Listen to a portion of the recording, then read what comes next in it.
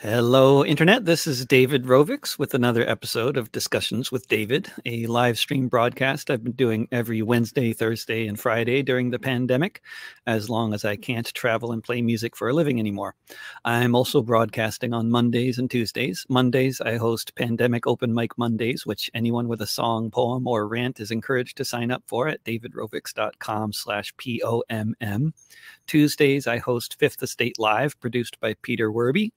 All of these live stream broadcasts start at 10 a.m. Pacific, noon Central, 1 p.m. Eastern, 6 p.m. GMT every weekday, and you can find them both live and in archived form on the Facebook pages of Popular Resistance, KBOO Community Radio, and my own Facebook pages and channels on YouTube, Periscope, Twitch, VK, and LinkedIn.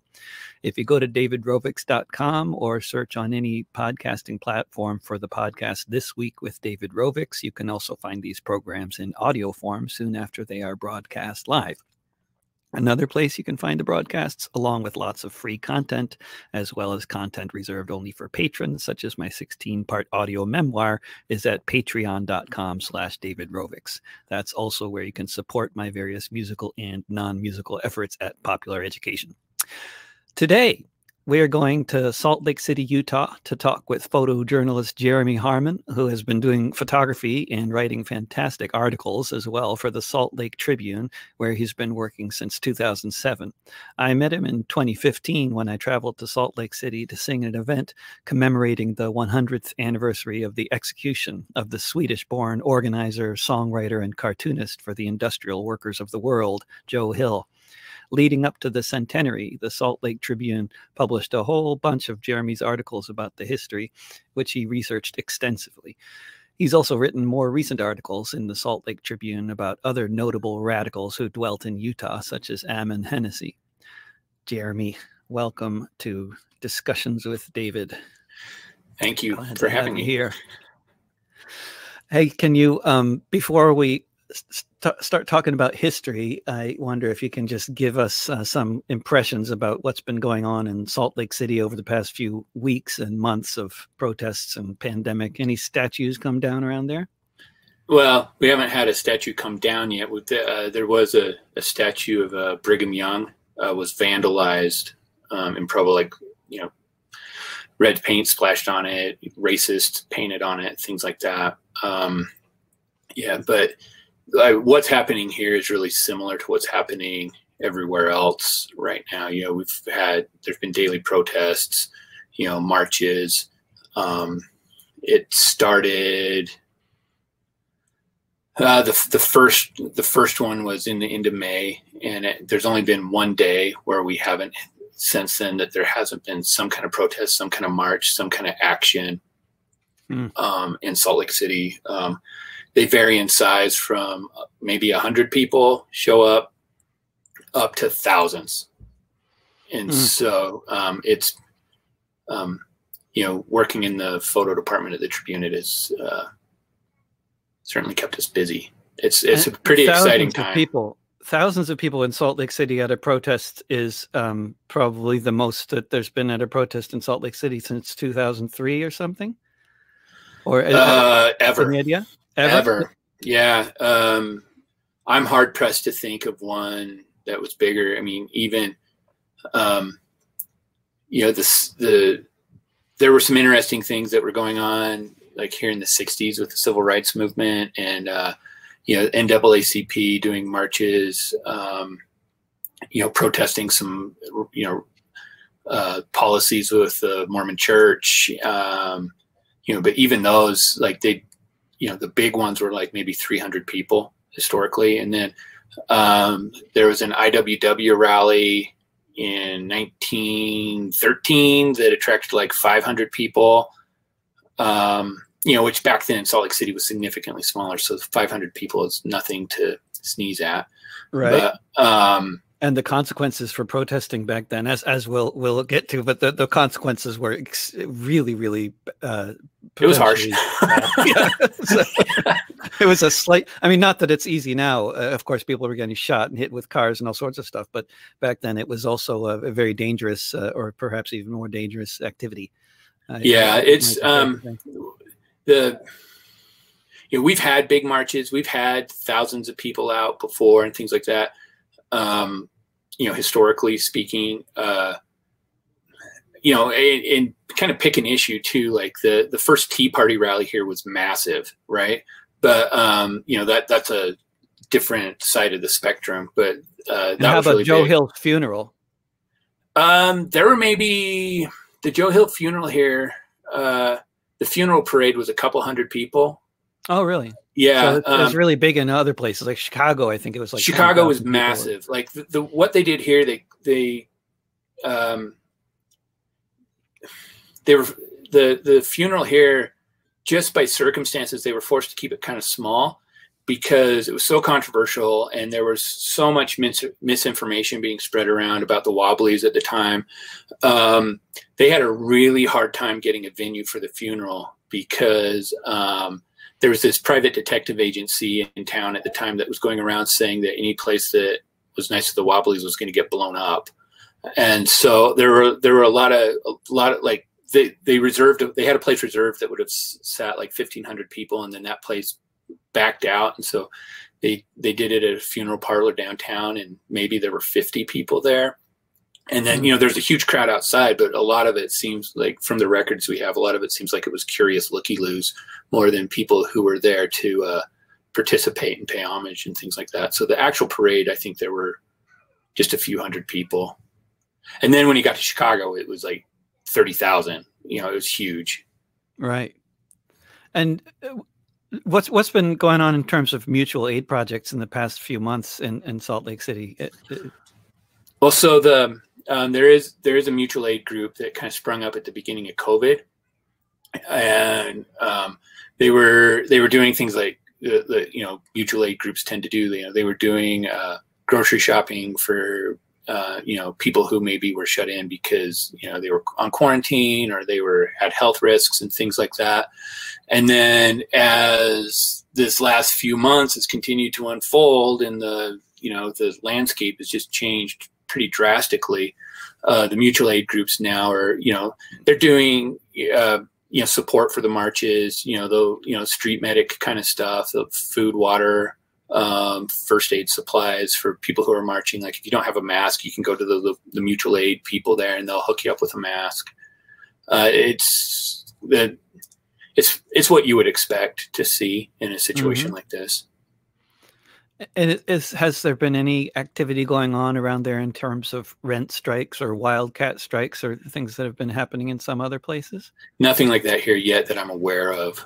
Um, there there were some actions um, kind of early on where they, uh, especially in COVID, where some of the some of the groups in town, like uh, you know Democratic Socialist groups and things like that, were and some other activist groups in town were uh, distributing like renters' rights flyers um, at. Uh, you know, at different apartment complexes in like lower income neighborhoods that, you know, where there was a fear, fear there would be, uh, you know evictions and things like that but there hasn't been anything that i'm aware of as specific as a rent strike But in terms of evictions, is is the any idea what the situation is with uh, any kind of suspension on evictions there? It, it seems yeah to be they they put a moratorium on them for a while and then um, i'm not sure if that's been lifted yet or not and then even with that with covid with the courts being shut down there wasn't a way to have a hearing so a lot of that stuff just got kind of you know anyway but they're not doing eviction hearings on Zoom the way they do they are in Arizona. yeah, I'm- i haven't heard about that no You heard about that? yeah. that's uh, that's lovely Yeah, it's it's apparently not safe uh not safe to hold the court, but it's safe to evict people onto the yeah street. Yeah. But in terms of your work, uh, how has that been affected by the pandemic? Though I'm just curious. Just like I mean, have you just been out there doing uh, do phot- photography and every covering events like normal, or uh, with a mask on? And I mean, what how has it affected? So, um, uh, because of my role, like I'm, you know, it's, uh, I, I rarely go out and shoot pictures anymore. Oh, you know, okay. And so, but my staff, you know, they're out there every day, and so, um, in an effort to keep them safe, um, you know, we we uh, we have some pretty you know upfront conversations with like you know like let's pretend I was coming to your place to you know your home to photograph you. Um, I you know a lot of times where I'm having conversations with you know you about you know what the situation is. You know like are you guys on quarantine? Is anybody at a health you know um, you know at risk? You know because mm-hmm. um, my staff's been out there all day every day since this started um, I don't know what we've been exposed to, you know, especially now with all the protest marches, you know, we're covering these every day. And, you know, protesters for the most part are wearing masks, but, you know, you get a couple thousand people crammed into a city street. There's not a lot of distancing or anything. Um, so far, as far as I'm aware, they've only been able to track two cases of COVID, specifically to the marches, which I think is pretty remarkable because we are in the mm-hmm. middle of a huge spike right now. Mm-hmm. And so, you know, in the last couple of weeks, there's been uh, uh, last two or three weeks, there's been like 8,000 new cases, and only two of them have been from protest marches. You know, so that's interesting. But anyway, with that in mind, like not knowing what my staff has been exposed to, um, I don't want any of them getting sick, and I don't want them spreading something around to somebody who might get sick. So we've done things where, like, if we're shooting a portrait of somebody, maybe we stand outside and we look through the window and you know get some try to get some nice light on them or or something like that or you know we're doing a, a lot of things outdoors um, i've um, turned down photo requests from reporters if um, you know if they're inside and there's just not a safe way to keep distance um, you know we're uh, just trying to be really cognizant of that because um, um,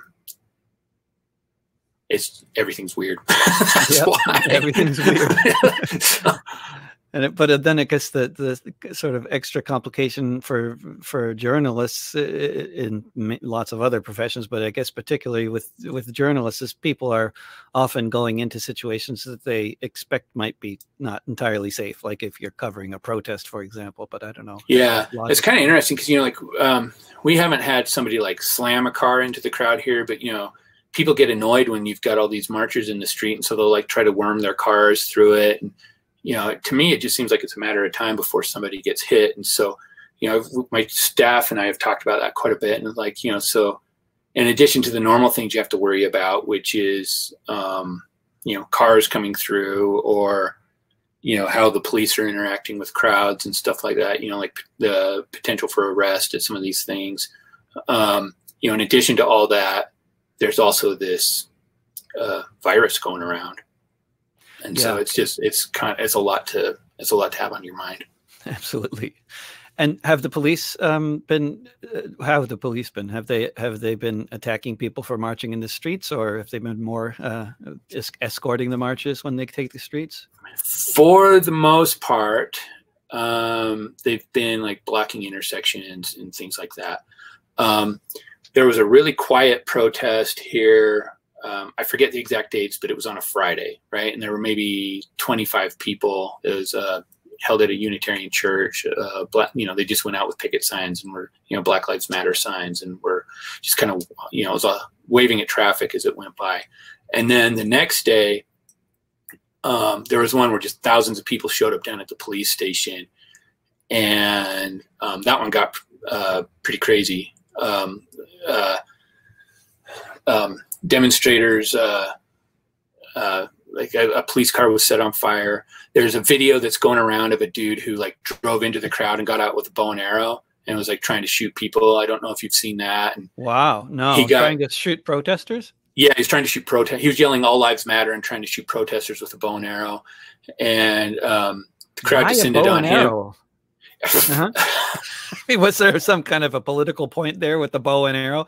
But I mean, well, he was. Uh, less jail time than killing somebody with a gun maybe i don't know no he was uh, um, he'd been in prison and so he couldn't he couldn't own a gun so he had a bow and arrow god and so and but then he found out that he also wasn't supposed to have a bow and arrow and so he's going back to prison on for you know weapons with a you know restricted whatever it is i forget there's a there's a litany of charges against him because it's not a good idea to try to shoot people with a bow and arrow no really but, bad potentially deadly but the crowd descended on him kicked mm. the crap out of him flipped mm. his car over and set it on fire you know it was that's um, quite a response yeah, yeah. I mean, he was he was trying to kill people though. Like, yeah, it's a very you know, proportionate like, response. Uh, they didn't like, kill him. It was yeah. a it was a that was a crazy day, and yeah, that one wow. went that one started early in the morning and went into the wee hours of the following morning, and you know like people were getting shot with rubber bullets, and uh, we did a story about um, uh, the main the central place of this thing was like at our police station in a library that's right across the street from the police station. And there's a homeless man that I've known for a while who lives at the police station. He was on the ground and one a police officer ran up and shot him in the back with a beanbag gun while he was on the ground being handcuffed. Like it, it was, it was something else. But um, so the following day there wasn't a march. Um, you know, there, there just wasn't a march the following day. And like there's graffiti all over the city, like the Capitol, there's tons of graffiti on the state capitol, all over the building. Like people were throwing rocks through windows at the police station. Um, it was, it, was a big day, yeah. but, um, yeah, it, uh, so the next day there wasn't, it, the next day was pretty quiet. And then after that, there's been some kind of action every day. Um, and uh, in the midst of all this, uh, the Salt Lake City Police Department had to release uh, body cam footage um, where they uh, killed a young man uh, named uh, Bernardo Palacios Carbajal, um, shot him a number of times, and so that. Um, when? just a few weeks ago. Um, and so the body cam has come out, and that's really inflamed things. inflamed isn't the right word um, it has really galvanized uh, demonstrators. It's it's um, further exposed to the, the the various crimes that are regularly committed by police in this country. Well, it yeah, it's really just um, it's become a rallying point. You know, like the the uh, there's a lot of political pressure to get the investigation wrapped up quickly. Um, the the police department that was tasked with investigating the shooting has finished their portion of the investigation and given uh, you know given their information to the district attorney and so now there's a lot of pressure on the district attorney to announce if he's going to uh, press yeah. charges against the officers or not and so uh, uh, the last several nights the protest marches have started at the da's office mm. um, because of that mm. um, yeah there's still there's a lot going on a lot going on, and the police station is still there. Oh yeah, yeah, yeah, yeah, yeah. Not not like uh, there's been certain cities uh, where that where police stations have been abandoned. Yeah, we don't have a Chaz or a Chop here. no, no, ch no Chop yet. No. Yeah. So just uh, we are talking with Jeremy Harmon on discussions with David, which you can hear live at 10 a.m. Pacific, noon Central, 1 p.m. Eastern, 6 p.m. GMT, Wednesday through Friday every week, along with other broadcasts I host at the same time on Mondays and Tuesdays. All of these broadcasts go out live on the Facebook pages of Popular Resistance, KBOO, Community Radio, and elsewhere, and they're all archived on my YouTube channel at youtube.com slash drovics, on Patreon at patreon.com slash davidrovics, and in podcast form if you look for This Week with David Rovics on any podcasting platform. Um, Jeremy, when I first came to, uh, well, when I, I believe it was the, was it the first time we met, as far as I re- recall, in 2015 when I came to Salt Lake City, or yeah, for that, and and yeah. you had been, uh, I, I don't think I realized that it was you behind so many of these articles I had been reading in the in the uh, Salt Lake Tribune, uh, but uh, that you you you did exhaustive research. I mean, you must have been like um, reading those articles. It, it, it, you must have been like uh, I, I mean, I can't. I was imagining, trying to imagine what it might be like for you living in Salt Lake City and writing all these, uh, doing all this research about events that had taken place there hundred years ago, which were know, especially notable events in the history of the labor movement. Uh, yeah, it was. Um and then you're seeing these same places like the wall i mean it's a, part of the wall where joe hill was executed is still there at the park and i mean there's uh, so many other buildings i imagine uh, probably most of them aren't there anymore but a lot of the, the neighborhoods i mean the streets uh, the same names uh, what I, I, yeah it's kind of it's really interesting so like you know i've always been um like a music junkie and I'm one of those music nerds that if I like a record, I have to know what influenced it, and I, you know, and I go backwards on everything. And so there's a lot of that. There's a, you know, a lot of American music. If you trace it backwards, you in, invariably end up with the IWW's Little Red Songbook mm. and Joe Hill, right? and so I I was aware of him as being um, you know uh, a songwriter who influenced you know Woody Guthrie, right? Like mm. that that that's kind of where I was, and um, I, I, didn't know a lot of details, and then um,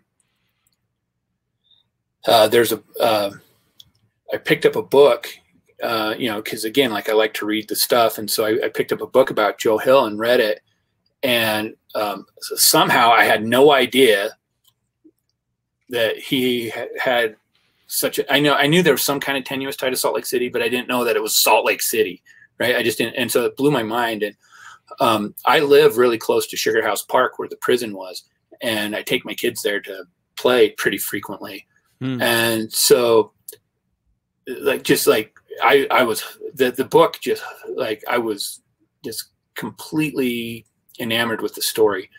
And, uh, and then after that, I started trying to learn as much about it as I can, as I could, you know, and uh, like I'm a Billy Bragg fan, and I run across the story of him eating the ashes, you know, stuff like that. And um, in uh, in 2014, um, you know, late 2014, I was in an editor's meeting at work, and um, we started talking about projects, you know, like more long-term projects that we wanted to do for the next year. And um, one of the other editors in the room said, "Well, there's this like famous execution here in 1915. We're coming up, you know, in about a year it'll be the 100th anniversary. Maybe we should do something to talk about that and and and I was like, oh, you're talking about the Joe Hill thing, and I just started blah blah blah blah blah blah blah blah. You know, like I read this book, it was amazing. This Billy Bragg guy, he did this weird thing.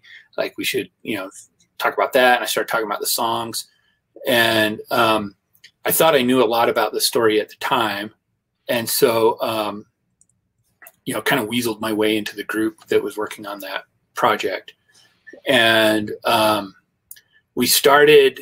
Um, um, we, we decided we wanted to start doing some of our like our own research into what had happened and and then because i'm uh, you know because i run the photo side of it and like for a while i, I had this like historical photo column i was doing once a week you know about different things mm. in the city and i'd been looking for iww photos and i'd been looking for photos of things like specifically related to the joe hill case and just kept just never could find anything and so anyway, we started reaching out to people and stuff like that, and um, you know, we were able to track down a number of descendants of people who um, were there. You know, like you know, like key players in these in this story, and you know, they had family photos or they had you know old family memoirs and things. You know, like some really fascinating things that I think just added a lot of um, context to what was going on in Salt Lake City at the time that you know frankly is missing from some of the uh, biographies because mm. you know they're, they're so focused on joe that like i feel like we were able to kind of break out from just the joe part of the story and get into more of the the context of what was going on in salt lake city and and how yeah, did this how, how did this happen right and, and that's what was so good about the whole series too was that the whole local context that you put it in which i think must have been uh, uh, uh, which seemed quite clearly to, to be of particular interest to a lot of locals i mean i think a lot yeah. of people were living in the in in in 1915 in 2015 you know through through your articles but well it was one of the things that was like um there's this joke in Salt Lake City that you know everybody's connected to everybody else. Like because you know Salt Lake City is a it's a big city but it's not a huge city you know? And so a lot of people call it small lake city because if I know somebody and you know this person like I can connect almost anybody in the city really quickly because everybody knows everybody. You know it's a big little town. But mm-hmm. um uh um you know my my family has been here like the harmon family has been here since 1847 my ancestors wow. were on the first wagon train with brigham young that rolled into the valley and so you know like there's a lot of us around and um it, like one of the things that like just really blew my mind when we were doing this was um yeah and this is more of a personal aside i guess mm but uh mm-hmm. um so the grocer who was murdered um that joe was convicted of you know the, the frame up all that like uh, the gro- the grocer um, his wife um, was cousins with my third great grandfather, right, who was a cop here at the time. Mm. and helped with the investigation. yeah. And like I had no idea, you know, like and so just like finding that kind of stuff. And so we tracked down some descendants of the grocer and like some of the pictures they gave us are just fascinating. And like and even the pictures they gave us raise all kinds of other questions. Cause like mm. um one of the photographs that um um they gave that they have, you know, it's like a family heirloom now. One of these photographs they have um um, for people who are familiar with the story, so it was Joe Hill and Otto Appelquist right, who were thought to be the guys who went in and held up this grocery store. Well, they have a photo of Otto. The photo of Otto was um, distributed by police to the papers and stuff like that because they were trying to find him, right? Well, they have the original copy of that photograph. And so it's like the family ties to the police department and things like that. It's like, you know, it's I mean, you know, were the police giving the family evidence after the fact? Because like they have this photograph, like, and that belonged to the police department, and the the photograph has a little arrow drawn on it, which is what they would do back then. If you know, if because it's a big group photo of a bunch of iron workers, and there's Otto in the middle of it, and so they drew an arrow pointing at Otto. So they, when the picture was copied and sent around to the papers, they knew which guy to focus on for the mugshots. And so, you know, you go back to the Salt Lake Tribune uh, from this time and there's that exact mugshot in the Salt Lake Tribune from this photo that the family has. And so seeing the, uh, I, I made a big, I made a really nice copy of the whole photo and we have that on the website, but seeing that in its original context of him with all these other workers um, on this building and, and even the building, it was a, the building was a project that was uh, done for the Eccles family, which is a really uh, wealthy family here. You know, they're like philanthropists, their names on tons of buildings in the state, stuff like that. So it was an Eccles project. Well, the uh, you know before earlier when I was talking about um, there was a, a, an IWW rally that attracted about 500 people. Mm-hmm. Um, well, that was after they had won a strike against a company owned by the Eccles family. So there's mm-hmm. just mm. like all this like interconnection and all these things. And um, to me, that's just like that kind of context um, um, I've done podcast interviews about the Joe Hill case, and they always have to ring me in and say, "Well, we actually talk about Joe?" Because I'm talking about all these down down in the weeds characters. But to me, the down in the weeds characters really help explain um, yeah. the political climate and the um, what happened to you know, like like if you get all that, like I think you you understand the political climate that led to Joe's execution, and you also get greater clarity into uh, why he never offered up an alibi for himself. Because like there were so many IWW guys who were being targeted by the police during this time, and like there's another IWW guy who was killed only about three weeks before Joe's execution, but he was just gunned down in the street by the police. Wow! And so you know, like it, Joe would have known all this was going on and then he's got the police come and say, "Oh, well, just tell us who your friends are. You can trust us." Well, you just shot my friend, right? Yeah, right. Of course. And so it's, it's all these other characters that are in the story that I think um, really provide some clarity and like answer some of the mysteries of uh, you know some of the mythology of the of the Joe Hill case. Um, right you got to put it has to be in context. And that's what's one of the frustrating things about reading biographies for me is that uh, you know as interesting as they can often be it's the yeah. context that really makes it more interesting. And it's always it must be a, something that people writing biographies have to struggle with because there's always more context that you could provide. oh yeah there's so much more. Like um i've said this to a few people and it always raises some eyebrows but like um uh, to me, for me personally, like having like all the letters I've read, all the you know, all the you know, the memoirs, the interviews, you know, talking to descendants, all that kind of stuff. Um, to uh, you know, a lot of people make a, a, a lot of hay out of uh, you know Elizabeth Gurley Flynn and her involvement in the Joe Hill case and all that kind of stuff. And, and for my money, she's not even close to the most interesting woman um, in the story. Uh, there was a there was a local woman here that hardly anybody ever talks about or mentions. Uh, her name was Virginia Snow.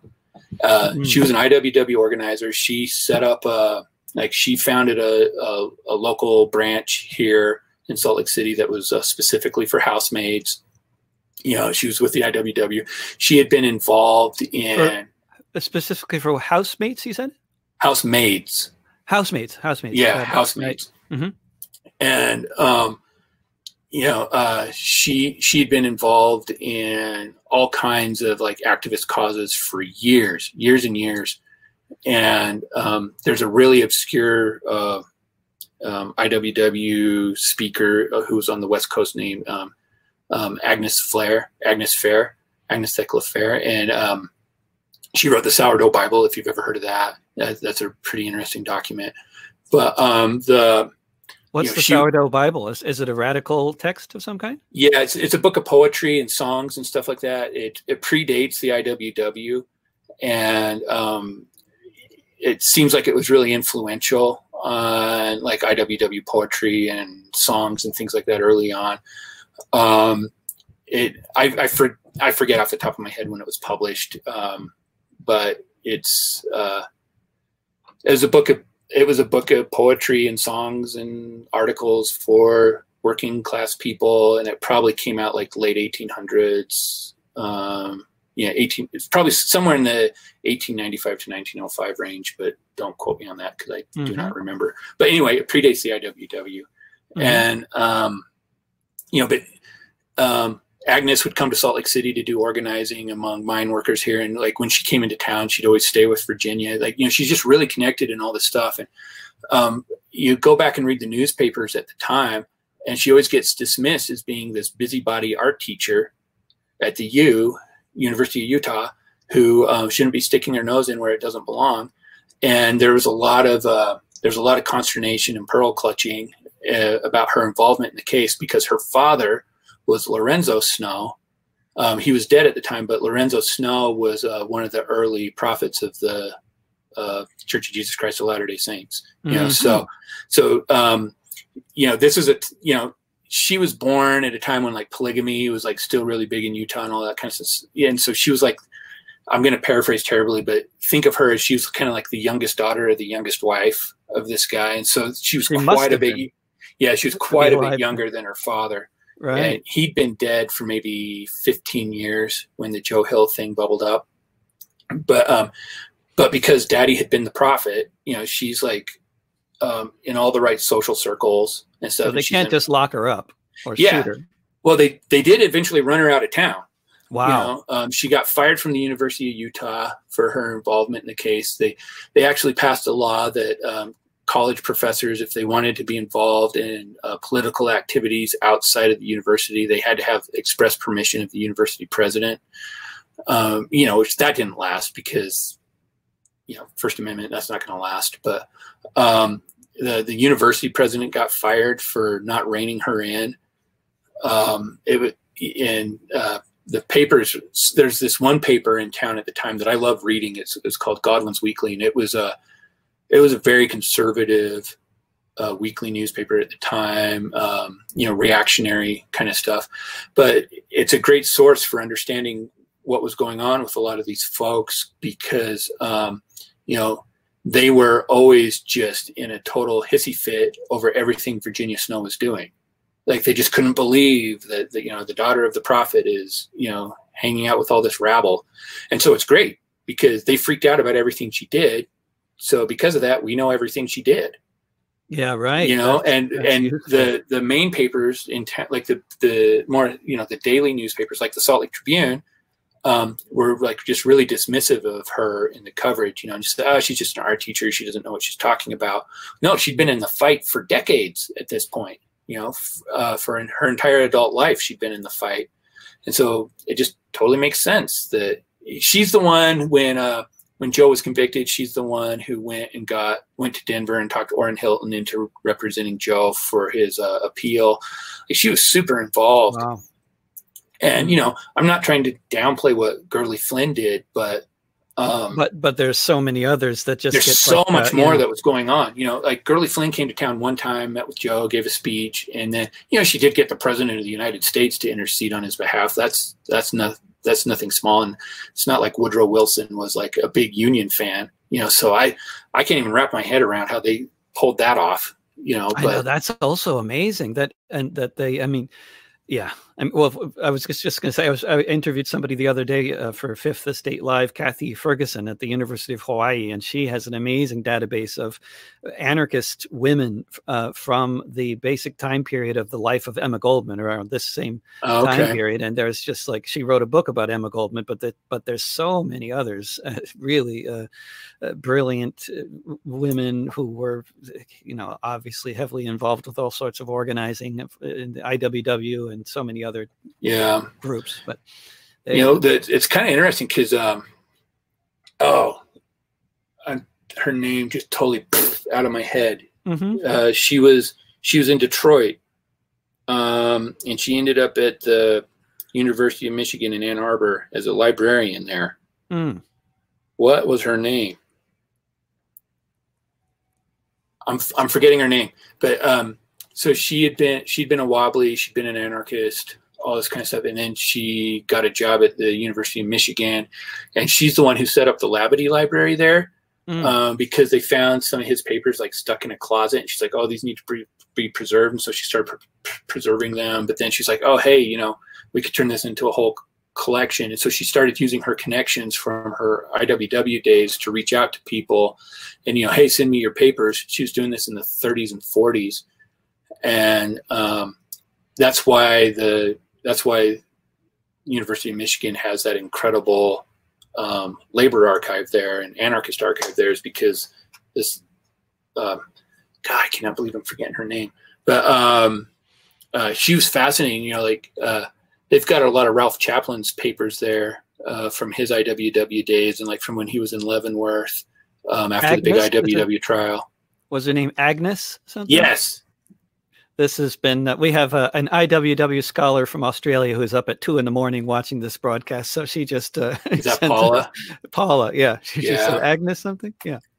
Um,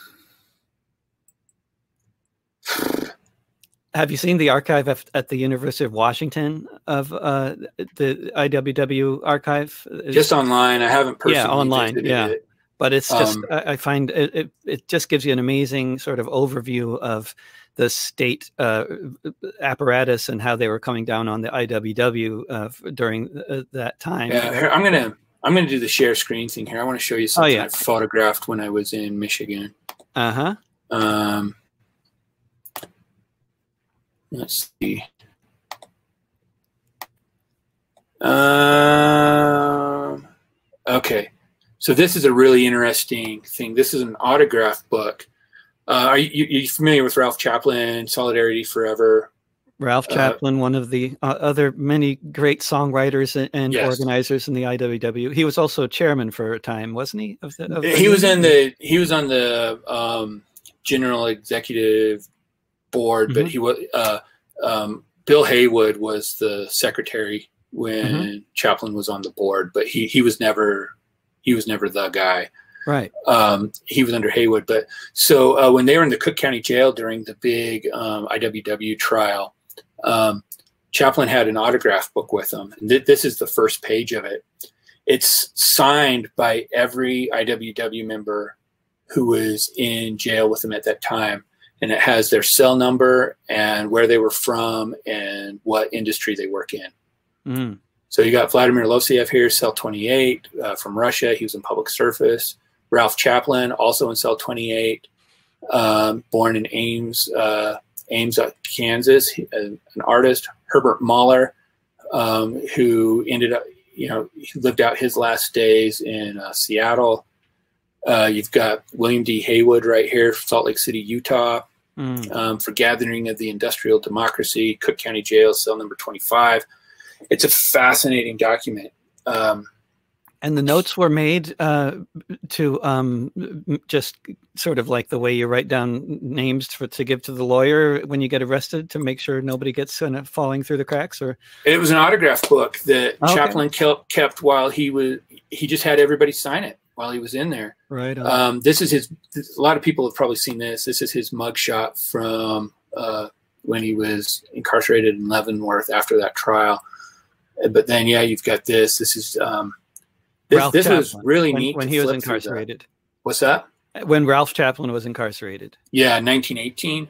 And um, this was this was at the uh, the, the this sort of uh, ostensible uh, re, accusation was that he was a German spy or something like that. Was it? It was no. They um, are you familiar with the with the 1917 trial? Um, there there was there were a series of coordinated raids all on IWW halls all across the United States where they were arresting uh, local organizers.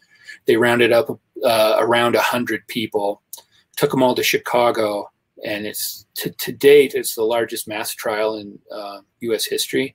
And so they tried all these guys, thousands of pages of documents, and they um, more or less the charges were conspiring against the war effort because the IWW was leading strikes in you know so many different industries, you know that uh, directly affected the war, uh, World War One.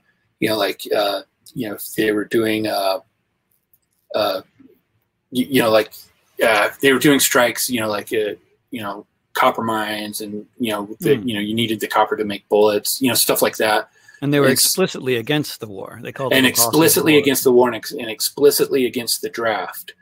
And so, um, you know, and they clearly they weren't the only radical group that was against that, but the IWW because they'd just been raising hackles all over the country for you know at this point talking about you know 12 years um, the united states had decided they just had enough they rounded up all these guys and tried them and um, when they were convicted everybody was found guilty and given sentences ranging from five to 20 years in prison like chaplin was given 20 years he only ended up serving four because once the war ended um, it got to a point where it was uh, embarrassing for the united states to have um, we, we were the last uh, of the major countries to release political prisoners who were um, arrested during the war.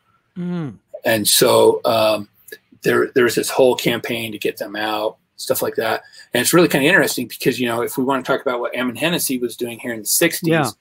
um, another prominent Salt Lake City radical. And and one uh, one thing I, I didn't realize when I was reading your article about Ammon Hennacy was that when he came to Salt Lake City, it was more or less uh, uh, sort of under orders uh, from Dorothy Day. Uh, I'm actually wrong on that. Uh, oh, okay. Yeah, um, yeah. That's uh, so he'd been in New York.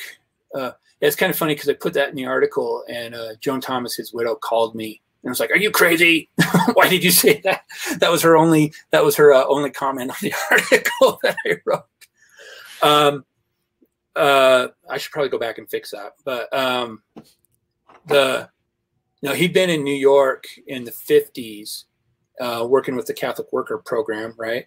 And uh, the movement there. And then he decided that he was going to come out in in 1960. He decided he was going to come to Salt Lake City and start a Catholic Worker House here and name it after Joe Hill. And then he ended up coming here permanently uh, in 1961.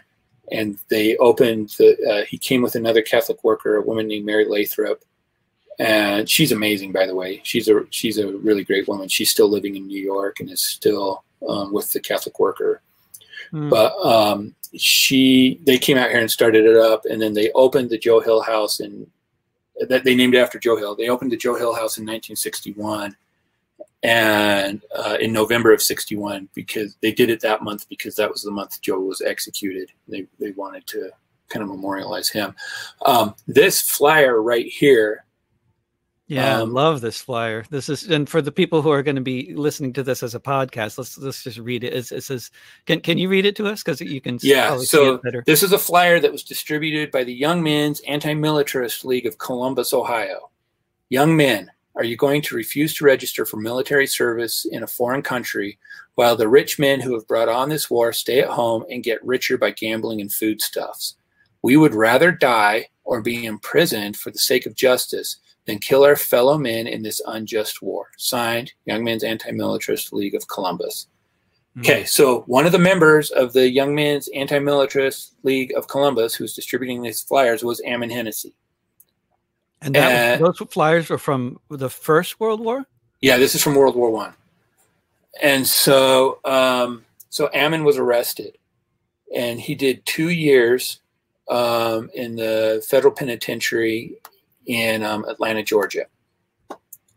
there was another person in prison in Atlanta, Georgia, at that time who Ammon met and was a hu- huge influence on Ammon, and it was Alexander Berkman, the Russian anarchist. Ah, really? And and Alexander Berkman was at that time in prison, but that was late. That he wouldn't have been in prison for shooting uh, Frick at that time. It this is after Frick. Else. He he is also in prison for the you know impeding the war effort kind of stuff, speaking out against the war. Mm. And so, um, also at this time, Eugene Debs was in the prison in Atlanta. Um, so, so, you kind of have a who's who. yeah. In prison there, like wow. um, you know, uh, there's the stories about um, there are the stories about when um, Ammon, uh, sorry, Eugene was uh, running for president as a convict. This this is that time period. Um, uh, um, Debs was, and while in prison, I think he got a million votes. Uh, if, if it was more than that, think, more than yeah, yeah, yeah. it was it was not insignificant. Um, yeah. I, I, I, I used to know the percentages off the top of my what percentage of the popular vote he got, but it was uh, it was it was hefty. Like if a third party candidate got what he got while he was in prison, they'd be doing backflips. That you know they'd be so excited. Mm. Um, uh, okay, so Ammon starts hanging out with his hero Alexander Berkman while they're in prison. Um, um, Ammon uh, continues, you know, being kind of a, for lack of a better word, a troublemaker. Um, he leads a strike, a, a sit-in, a sit-in strike against, you know, the quality of the food at the prison and stuff like that. So he gets put in solitary confinement, and um, he he's in solitary for eight or nine months of his two-year prison sentence. Um, while he's in solitary, the only book they will let him have is the Bible. Hmm. And so he reads it again and again and again and again and again. And, and um, um, he becomes uh, converted, a true believer, you know. And uh, in his mind, there there was no difference between what Berkman was telling him and what Christ was saying in the Sermon on the Mount. Sure. And so um, when he got out of when he eventually got out of prison, um, that became his his whole way of life. Like he worked as a social worker for a while, but then couldn't um, couldn't reckon paying taxes um, because he didn't want to do anything to support the war effort, and so uh, he he quit his job as a social worker. He came out west to Arizona. He worked as a migrant farmer for a number of years, like all pretty much all through the 1940s, um, because you know he'd get his wages at the end of the day and taxes were never deducted, and so he could just you know he just bounced around doing that. He actually went and lived with the Hopi for a little bit, uh, the Hopi Indians, because um, he felt like. Uh, you know their their you know their indigenous lifestyle and how they were organized you know because like Hopi never went to war. And so he really you know he wanted to go and learn more about that. And um, uh, late 1940s early 1950s um, he starts writing articles for the Catholic Worker newspaper uh, on his ideas on like Christian anarchism and Christian pacifism all that kind of stuff. Uh, he goes out to he goes out to New York to um, be be just be there and work with them and help. And um, uh, he joins the Catholic Church uh, sometime in the 1950s, and then comes out to Salt Lake City um, to you know start the Catholic Worker House here. And um, when he, when and he, he did he did meet Dorothy Day in New York though. I mean, he already oh, they worked side by side for yeah, ten okay. years. Right. Yeah, right. like they were really close. I have a great photograph um, that was given to me by uh, one of Dorothy's granddaughters um, of Ammon and Dorothy holding her um, during her christening when she was a baby. Oh. You, you know, like yeah, they um, they were yeah they yeah like um, yeah they knew each other quite well. You know, you know, Ammon lived at the, I mean, he lived at the Catholic Worker House in New York, like seriously, for almost 10 years.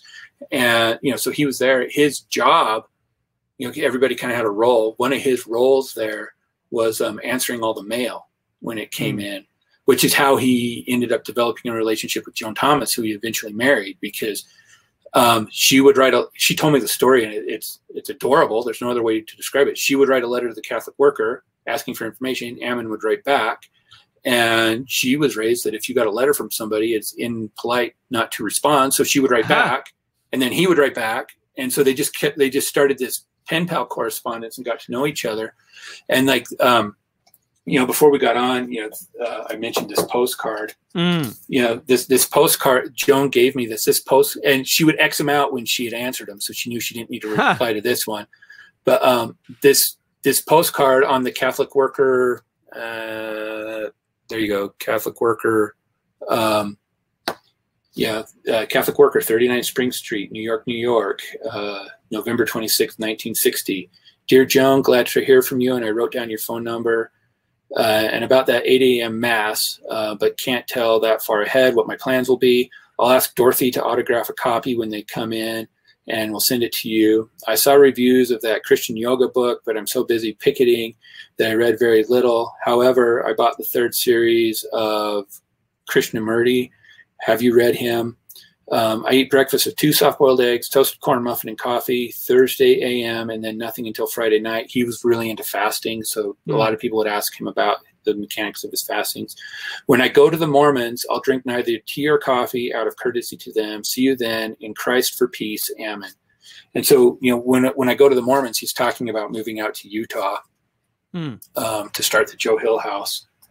Um, you know, it's, it's just fascinating. Um, and so he got out here and one of the things that's really interesting is um, so the Salt Lake Tribune did a story about him moving to uh, Utah to start this Catholic worker house. You know, but Utah has always been a very conservative place, right? So Ammon comes into town. And it's also, like, the the lots of uh, there's there's a certain amount of sort of uh, public mindedness of the Church of the Latter Day Saints, and and I mean, when you say conservative, you're talking about like uh, socially conservative, but not necessarily conservative in every sense, right? Like that that the term is meant. I mean, maybe this well, is an aside. Um, so this time period, like the mayor of Salt Lake City, when Ammon moved into town, the mayor was a member of the John Birch Society. Oh, really? Really? Yeah. So like we're talking conservative. right. Like got it. Uh-huh. Like, uh, yeah, some people who were in like key church lead, like there's at least one guy, his name was Ezra Taft Benson, who is uh, an apostle of the LDS church at this time. He was a member of the John Birch Society. Wow. Um, yeah. Uh, yeah, it is very. And, and what was this about tea or coffee? He he he, just, he was going to forego tea and coffee because yeah. So the Mormons not uh, Mormons don't drink tea and coffee. Is it caffeine? Because caffeine is a drug. Who knows why? I, okay. Anybody who tells you they know why is making it up. okay. Yeah, uh, I'm I'm LDS. I'm Mormon. Mm-hmm. I don't know why.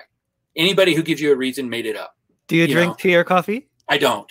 Uh-huh. I have. Um, I'm not. Uh, I'm not a fan of coffee. right. Right. Yeah. but, but, that's neither here nor there. Like, uh-huh. yeah, it just um, anybody who gives you a reason why that is is a is yeah, uh, cool. inventing stories because uh, right. people like to like people like to have a reason. There's no reason. Yeah. Um, yeah. Uh, anyway, um, mm-hmm.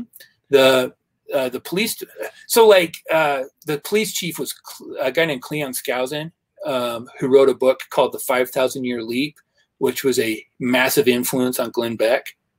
Mm. You know, so like it's Salt Lake yeah. City was very on the very much on the right side of things on everything. Right. Um, uh, okay. Um, so Hennacy got to Salt Lake City and Hennacy gets the Joe Hill City. House. Yeah, so the Salt Lake Tribune is writing this article about him coming into town, and they're like, you know, maybe you haven't heard of this guy. He's a self-described anarchist, whatever that means.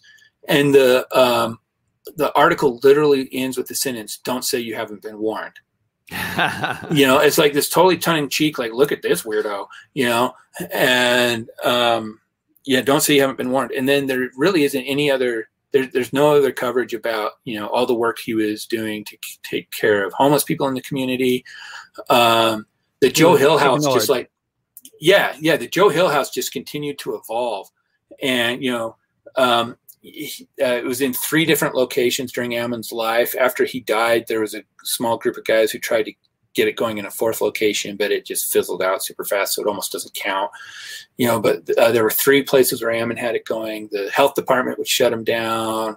Um, there's one where Dorothy Day gave him money to buy a house so that you know the health department, you know the the, city, a land, landlord couldn't evict him or something like that, and the city used basically a, a, you know something like an eminent domain law to seize the house from him and sell it out from under him to stop him from doing that because the neighbors were complaining about all the people that he was letting stay at the house and stuff. And then the last location of it, um, they moved him out kind of by the city dump and there was a dog, county dog pound out there and like he's not going to be bothering anybody but he was also far enough away from like the downtown train stations and stuff like that that you know he wasn't getting transients who were getting off the trains and stuff like that anymore and mm-hmm. so the house uh, really became kind of like the the cultural hub for um, you know, like Salt Lake City's anti-war movement, and stuff like mm. that. And like he was hiding conscientious objectors there, you know, people who were trying to avoid the draft, like they were staying at the house and Ammon was hiding them.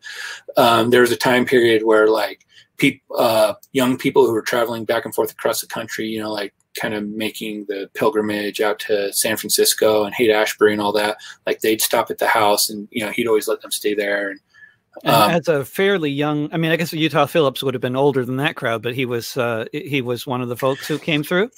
Uh, yeah, so Utah Utah was like a, a, a fixture at the Joe Hill House. Um, he met so uh, after after he got back from the from you know his military service in Korea. Um, he met Ammon outside the post office one day because Ammon was picketing out there, and they got talking.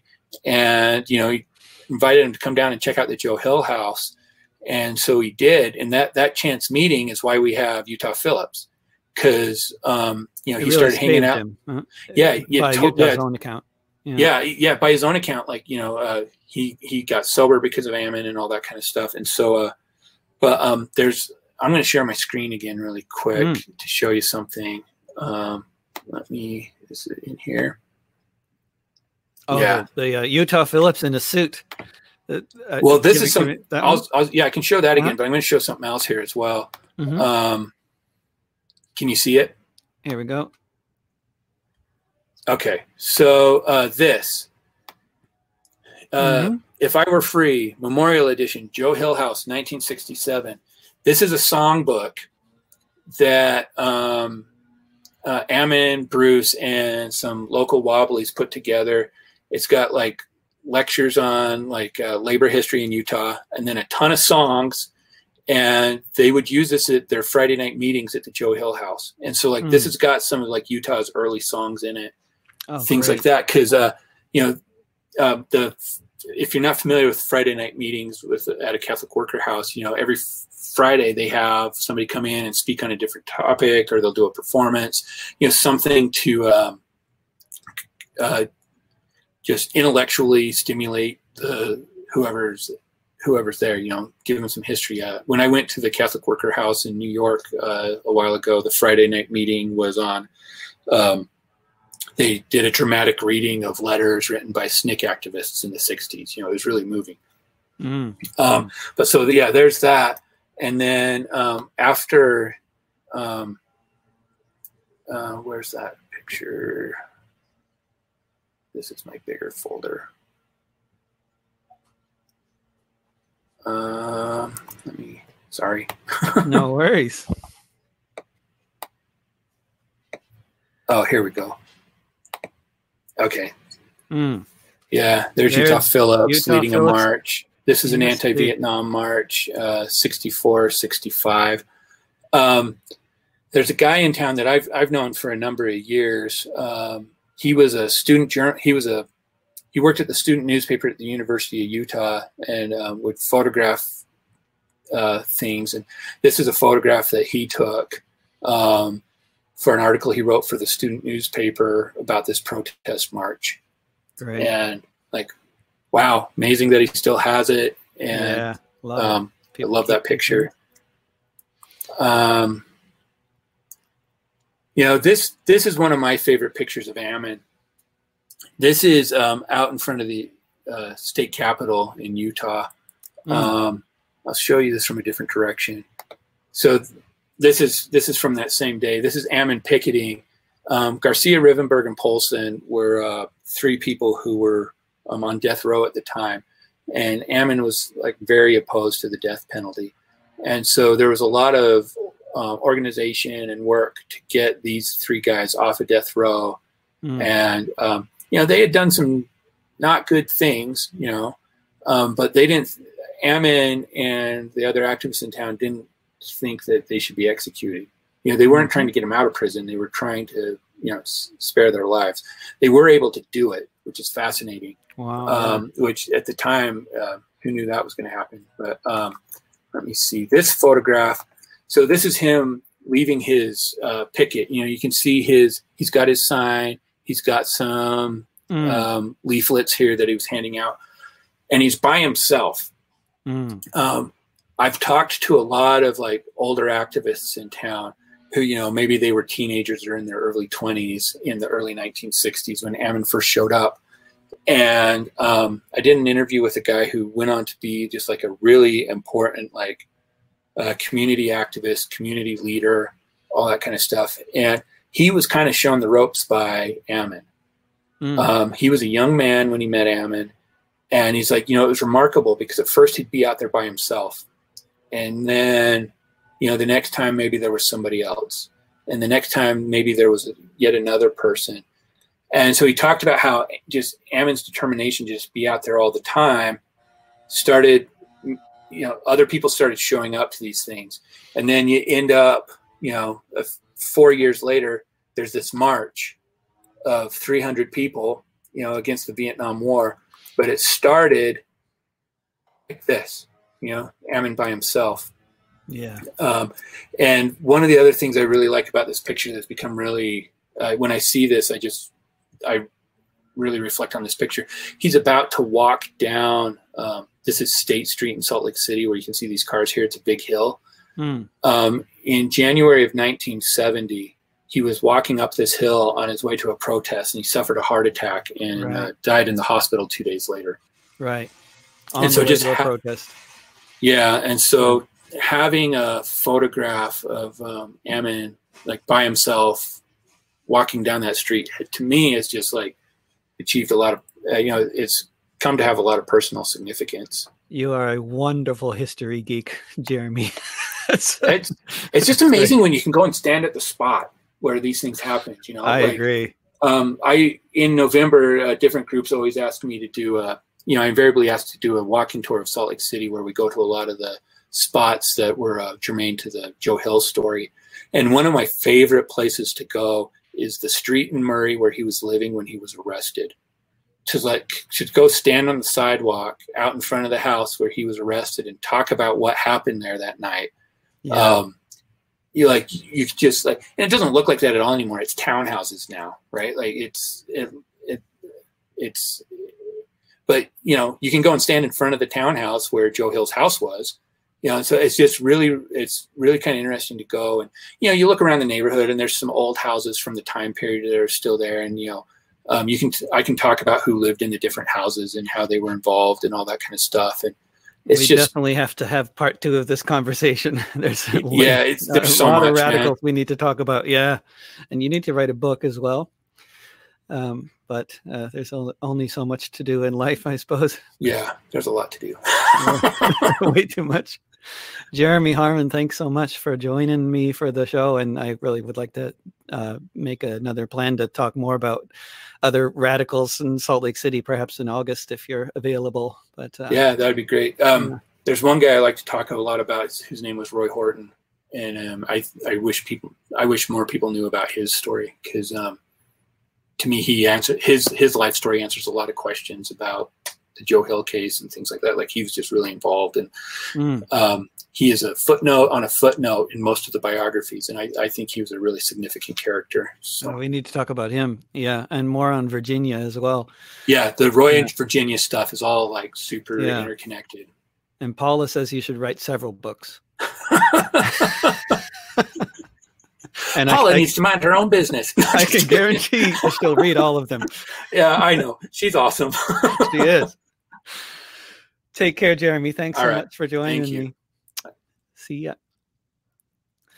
And um, Thanks for tuning into this conversation with Jeremy Harmon in Salt Lake City. You can find this and other discussions with David in archived form in various locations, such as the Discussions with David playlist on youtube.com slash drovics, at patreon.com slash davidrovics, at soundcloud.com slash davidrovics, and on any podcasting platform if you search for the podcast This Week with David Rovics. I have a new album out on Bandcamp, which you can stream for free called Notes from a Failed State. The music, the live stream broadcasts, and the podcasts are all free. But if you want to support my journalistic and musical efforts, plus have access to some exclusive offerings just for patrons, please join my community supported art program or CSA at davidrovics.com slash subscribe or patreon.com slash davidrovics.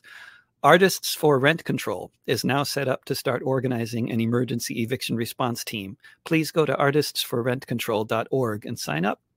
Tomorrow, I'll be talking with Jeremy Brecher, author of the groundbreaking labor history first published in 1970 called Strike, and author of many other great books and essays since then. And before then as well. Hope to see you again soon here in the Matrix and out on the streets. Don't pay the rent and don't be afraid of your neighbors. Mutual aid will get us through. Bye for now.